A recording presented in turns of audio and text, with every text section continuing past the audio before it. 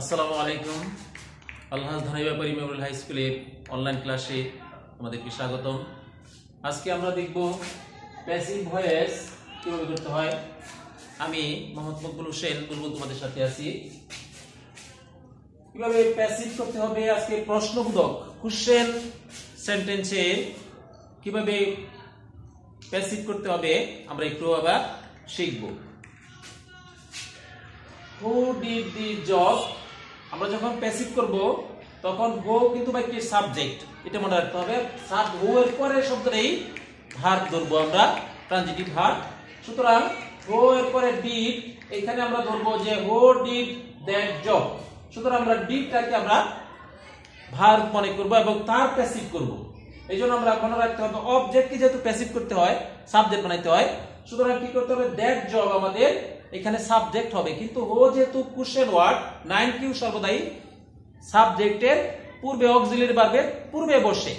সুতরাং হো থাকলে আমরা প্রথমে লিখব বাই হোম অথবা হো পাবো আমরা বাই হোম এরকম লিখব বাই হোম হো থাকলে আমরা লিখব বাই হোম তারপরে এখানে দ্যাট জব এখানে যেহেতু আছে দ্যাট জব পাস্ট টেন্সে আছে, সুতরাং ওয়াজ বা ওয়ার হবে। যেহেতু দ্যাট সিঙ্গুলার নাম্বার সুতরাং আমরা লিখব, by whom was. Was the job. By whom was the job এবং সর্বদাই যে ভার্ব থাকবে তার পাস্ট পার্টিসিপল ফর্ম লিখতে হয়। এই জন্য লিখব, done. By whom was the job, done. আশা করি বুঝতে পারছ। এবার দেখো এইরকম বাক্য যদি হয় হু নোজ হিম হিয়ার সবসময় যে বাই হোম বসবে এমন নয়। আমরা জানি হো এর পরে হো থাকলে বাই হোম লেখা হয়। কিন্তু আমরা জানি যদি থাকে ভার নু নু বার্বের বেলায় আমরা কিন্তু লিখব টু পিছনে প্রিপজিশন বসে টু। যেহেতু প্রিপজিশন বসে টু, সুতরাং আমরা লিখব টু হোম। এখানে আমরা লিখব টু হোম। হোম, এইবারে যেহেতু আছে হিম লিখব আমরা, হিমের জায়গায় লিখব হি। টু হোম হি, কিন্তু প্রেজেন্ট টেন্স যেহেতু সাবজেক্টের পূর্বে লিখতে হবে টু বি ভার্বের রূপ। সুতরাং আমাদের এখানে নো এর জায়গায় পেলাম is by to whom is he এরপরে ভার্বের পাস্ট পার্টিসিপল হবে সর্বদাই। সুতরাং লিখব known to whom is he known here পাইলাম বেশটি অংশ sentence এর বার্তা আছে হিয়ার শেষে প্রশ্ন চিহ্ন। To whom is he known here এরকম, যখনই আমরা হো পাইব, তখন বাই হোম শুরুতে লিখব। তারপরে টু বি ভার্বের রূপ থাকবে টেন্স অনুযায়ী এবং টু বি ভার্বের রূপটা সর্বদাই সাবজেক্টের পূর্বে বসবে, যেহেতু কোশ্চেন ওয়ার্ড কোশ্চেন সেন্টেন্সের বেলায় এরকম হবে। একটু খেয়াল করো, যদি কোনো বাক্যে হোয়াট শুরুতে থাকে প্যাসিভ করার সময় হোয়াট শুরুতে বসবে হোয়াট ই সাবজেক্ট হয়ে যাবে। প্যাসিভ করার সময় হোয়াট? বাক্যে সাবজেক্ট রূপে বসবে। সুতরাং আমরা হোয়াটকে সাবজেক্ট রূপে লিখব। হোয়াট? এরপরে লিখব টেন্স যেহেতু আছে প্রেজেন্ট টেন্স ডাজ প্রেজেন্ট টেন্সের বেলায় হোয়াট এর সাথে প্রেজেন্ট টেন্সের দুই গ্রুপ লিখব ইজ হোয়াট ইজ এরপরে ভার্ব আছে তোমার গ্রো গ্রো ভার্বের পাস্ট পার্টিসিপল হবে grown what is grown what is a grown in the field আমরা একটু বেশি শব্দ দিয়ে নিই।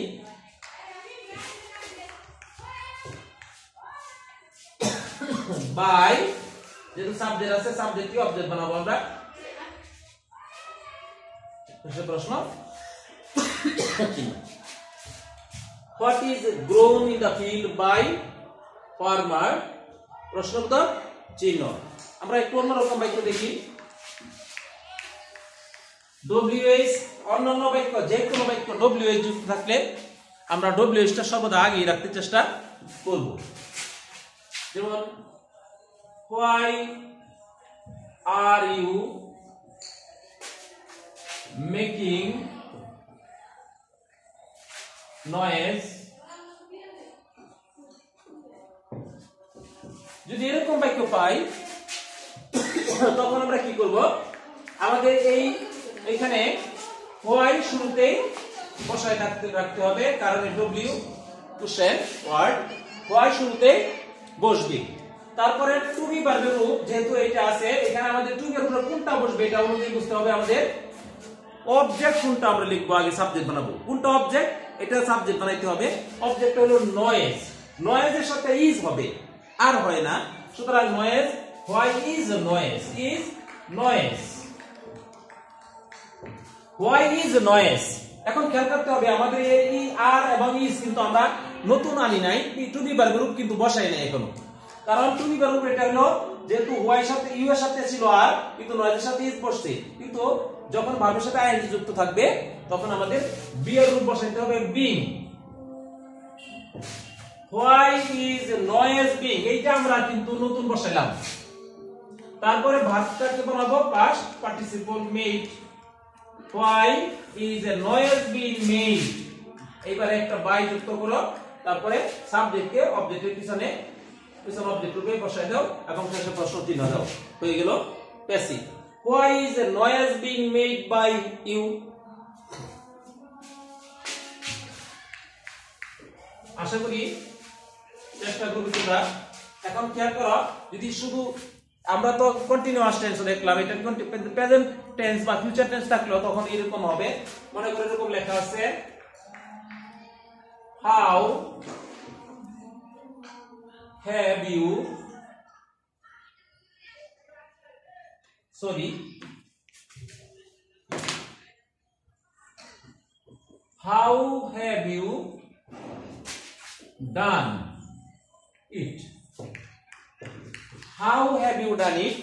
এখানে যেহেতু নাইন কিউ সর্বদাই শুরুতে আমরা বসাবো।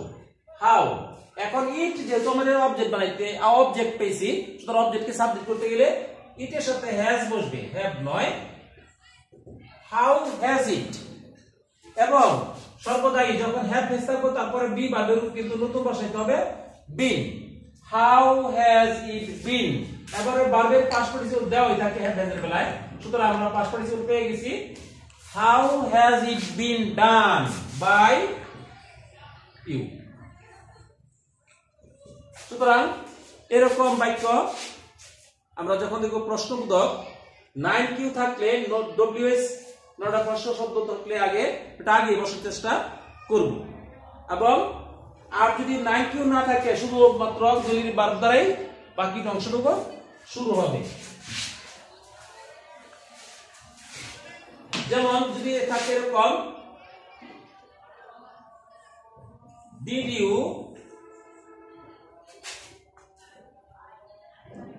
see an ant